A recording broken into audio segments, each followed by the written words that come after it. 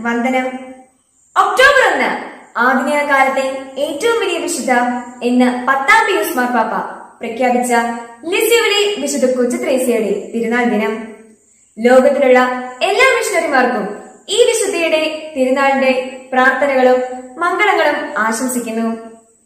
രണ്ട് ദശാബ്ദങ്ങളിൽ ഏറെക്കാലം പ്രകാശം പരത്തിയ സമർപ്പിത ജീവിതത്തിന്റെ കലർപ്പില്ലാത്ത മുദ്രകൾ കർമ്മലീത സന്യാസിനി സമൂഹത്തിൽ പതിപ്പിച്ച സന്യാസിനി.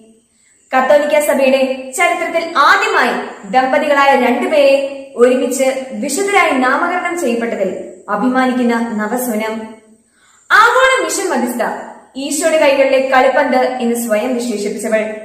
ചെറുപുഷ്പ മിഷനിങ്ങിന്റെ സ്വർഗീയ മധ്യസ്ഥ. എന്നിങ്ങനെ നീണ്ടുപോകുന്നു വിശുദ്ധ കൊച്ചുത്രേസയ്ക്കുള്ള വിശേഷണങ്ങൾ.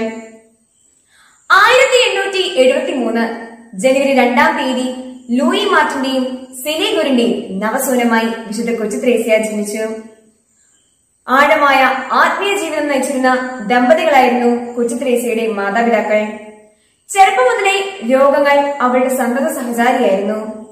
കൊച്ചു ത്രേസ്യയ്ക്ക് നാലു വയസ്സുള്ളപ്പോൾ അവളുടെ മാതാവ് സെലി മാർട്ടിൻ ഈ ലോകത്തോട് വിട പറഞ്ഞു. ചെറുപ്പം മുതലേ ഒരു കന്യാസ്ത്രീയാകണം എന്നായിരുന്നു അവളുടെ പ്രാർത്ഥന.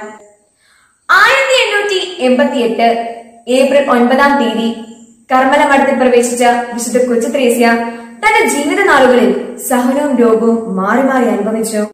അങ്ങനെ ആയിരത്തി എണ്ണൂറ്റി തൊണ്ണൂറ്റി നാല് സെപ്റ്റംബർ മുപ്പതാം തീയതി ഇഹലോഹവാസം വെടിഞ്ഞു. പിന്നീട് ആയിരത്തി തൊള്ളായിരത്തി ഇരുപത്തി മൂന്ന് മാർച്ച് ഇരുപത്തി ആറാം തീയതി വാഴ്ത്തപ്പെട്ടവളായും ആയിരത്തി തൊള്ളായിരത്തി ഇരുപത്തി അഞ്ച് മെയ് പതിനേഴാം തീയതി വിശുദ്ധയായി ചെറുപുഷ്പം ഉയർത്തപ്പെട്ടു. വിശുദ്ധ ത്രേസ്യ തന്റെ ദിവ്യനാഥനോട് ഇപ്രകാരം ചോദിക്കുന്നു. വാടുന്നതിന് മുമ്പ് അങ്ങനെ ഇരുത്തെടുത്താലും സ്വർഗത്തിലും ഞാൻ വാടാതെ നിലകൊള്ളും. അങ്ങനെ ഭൂമിയിൽ ഏൽപ്പിച്ച ദൗത്യം ഞാൻ സ്വർഗത്തിലിരുന്നു കൊണ്ട് തുടരും. അങ്ങനെ ഭൂമിയിൽ ഞാൻ വീണ്ടും ജീവിക്കും. നാം ചെയ്യുന്ന ഓരോ പ്രവൃത്തികളും സ്നേഹത്തെ പ്രതി കാഴ്ചവെക്കണമെന്ന് വിശുദ്ധ നമ്മോട് ആവശ്യപ്പെടുന്നു. സ്വർഗത്തിലിരുന്നുകൊണ്ട് റോസാപ്പൂക്കൾ ഞാൻ വർഷിക്കും എന്ന വിശുദ്ധയുടെ വാഗ്ദാനം ഇന്നും നിറവേറുന്നു. അതെ പ്രേക്ഷകരുടെ മധ്യസ്ഥയായി ജനഹൃദയത്തിൽ അവൾ എന്നും വാഴുന്നു. ഭൂമിയിൽ തന്നെ മഹത്വപ്പെടുത്തിയെന്ന് ദൈവം അവൾക്ക് നൽകിയ സമ്മാനം.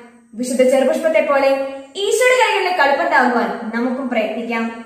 വിശുദ്ധ കൊച്ചു ത്രേസ്യ നമ്മയും നമ്മുടെ ജീവിത വഴികളെ പ്രകാശപൂരിതമാക്കട്ടെ എന്ന ആശംസകളോടെ നിർത്തുന്നു. നന്ദി നമസ്കാരം. ജയ് ക്രൈസ്റ്റ്.